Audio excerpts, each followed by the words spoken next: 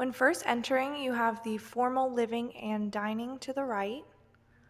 Straight ahead is a hallway leading to the living room, breakfast nook, and kitchen.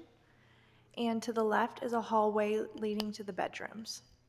This home has a large kitchen featuring granite countertops, an eating bar, a pantry, and all stainless steel appliances. The appliances include a gas stove, microwave, dishwasher, and disposal. The breakfast nook has access to the covered patio and backyard. To the left is the laundry room, which has access to the three car garage and storm shelter. Off of the breakfast nook is the living room, which has a fireplace, built ins, and a ceiling fan. The master bedroom is located at the end of the hallway. It features tall ceilings, a ceiling fan, an ensuite bathroom, and two walk in closets. The first closet is located right off of the bedroom.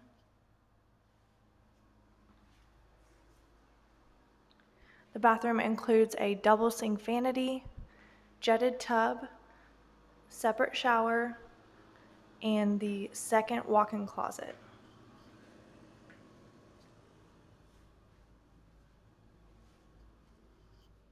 When leaving the master, to the right is the second bedroom with a ceiling fan and double closet.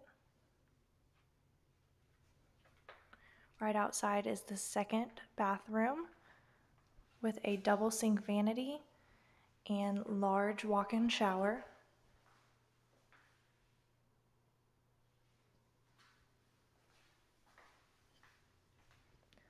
Next is the half bathroom.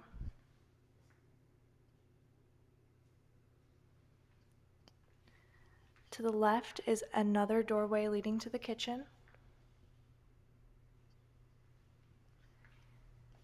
And to the right is the third bedroom with a ceiling fan and double door closet.